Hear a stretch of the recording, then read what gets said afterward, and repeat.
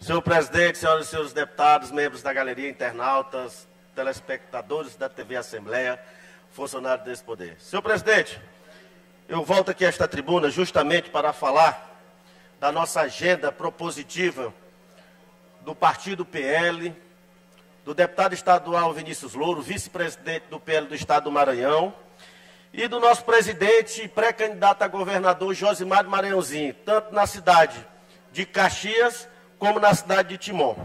Uma agenda muito satisfatória, onde eu quero aqui, primeiro, dizer que no dia 10, na quinta-feira, estivemos na cidade de Caxias, né, junto com o nosso pré-candidato a governador Josimar Maranhãozinho, o pré-candidato a deputado federal Paulo Marinho Júnior, né, uma visita amistosa, visitamos o Mercado Central, onde nós comemos lá um mocotó, uma galinha caipira logo de manhã cedo, né, provando ali um pouco daquele alimento, Fábio Braga. Vossa Excelência que gosta de comer galinha caipira logo 7 horas da manhã, lá no Mercado Central de Caxias tem a melhor galinha do leste, viu?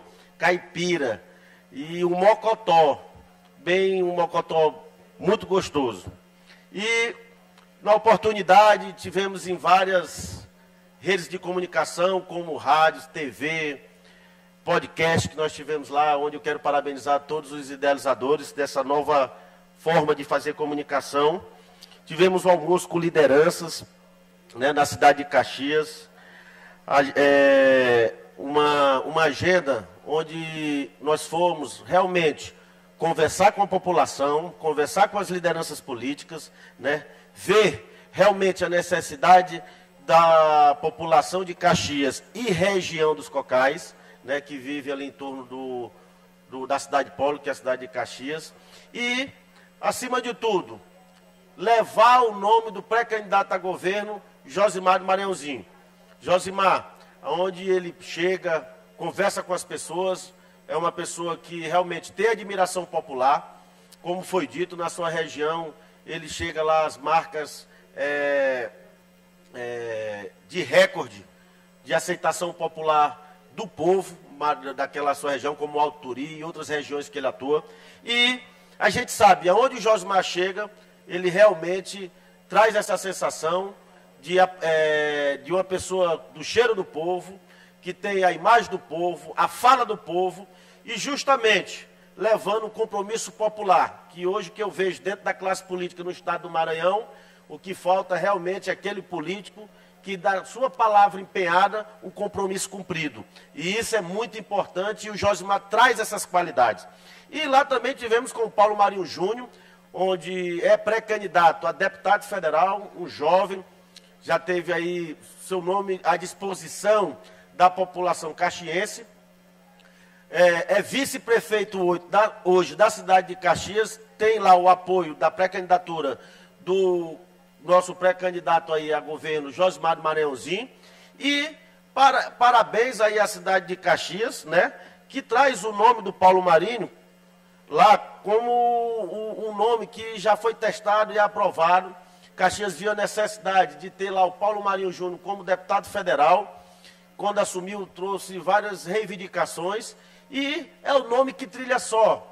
É como eu sempre dito na política, que o deputado Hélito do Curso sempre fala que às vezes a gente não tem que pegar o jabuti e, e colocar ele em cima da palmeira, e sim uma pessoa que tem o seu voo próprio, livre-arbítrio, um trabalho que já é voltado justamente para uma melhor qualidade de vida ao povo. E isso o Paulo Mário Júnior tem feito lá.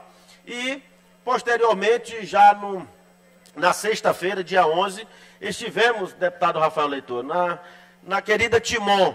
Timon essa que eu quero agradecer a atenção e o carinho da população. Né? Fomos recebidos de braços abertos.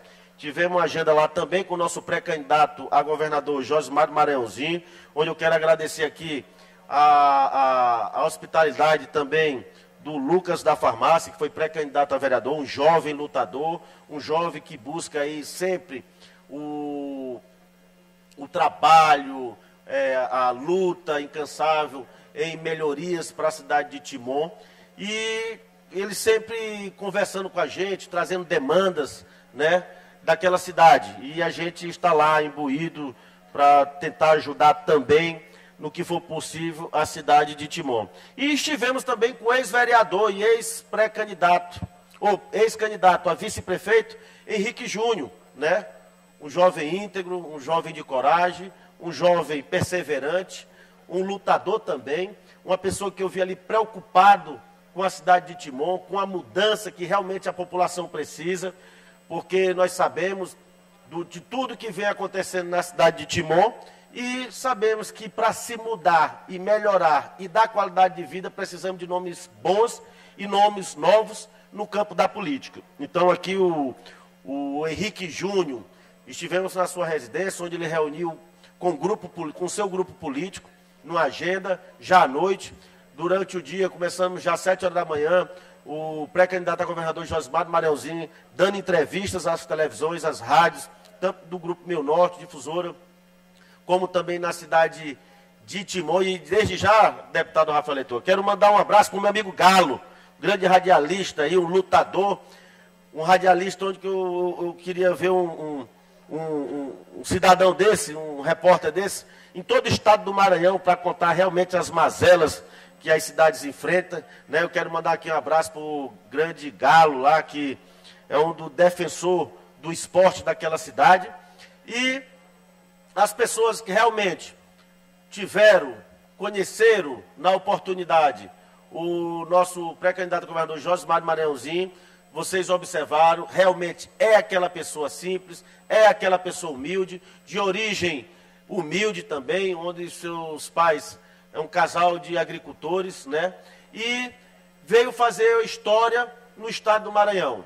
A cidade do Maranhãozinho, Centro Guilherme, era as cidades mais, vamos dizer assim, com os piores índices de DH, e eles conseguiram fazer uma revolução nas cidades. E a gente vê que quando as pessoas vê o comprometimento, a capacidade, a, a, a, a, vontade de trabalhar, a humildade dos deputados federal Josimar Maranhãozinho, eles começam a admirá-lo. E aonde o Josimar passa, ele realmente vai deixando a sua marca, vai deixando o seu nome, vai, vai fazendo com que as pessoas possam conhecê-lo. E eu fiquei muito satisfeito de ver ali no semblante das pessoas que estiveram presentes, que estiveram junto do deputado federal Josimar Maranhãozinho, que as pessoas ficam satisfeitas, porque vê logo ali uma pessoa humilde, uma pessoa simples, e o que a gente pode ver, que a política hoje no estado do Maranhão não quer ver aquela pessoa humilde e simples, mas com capacidade e coragem, governar esse estado. Mas realmente o Brasil está mudando, o estado do Maranhão também está mudando, onde nós teremos aí uma pessoa do povo, com o cheiro do povo, a coragem do povo, a humildade do povo e principalmente a capacidade de ter uma pessoa humilde comandando esse estado e fazendo o melhor para o estado do Maranhão, trazendo qualidade de vida, é, dando um basta nesses piores índices de IDH que existe no Brasil, que é o estado do Maranhão, trazendo progresso e principalmente uma gestão que possa melhorar essa segurança, a saúde, porque quando as coisas estão boas, o povo fala, o povo diz. Então é como se eu deixasse uma pergunta aqui para todas as cidades do estado do Maranhão. A saúde do estado do Maranhão está boa?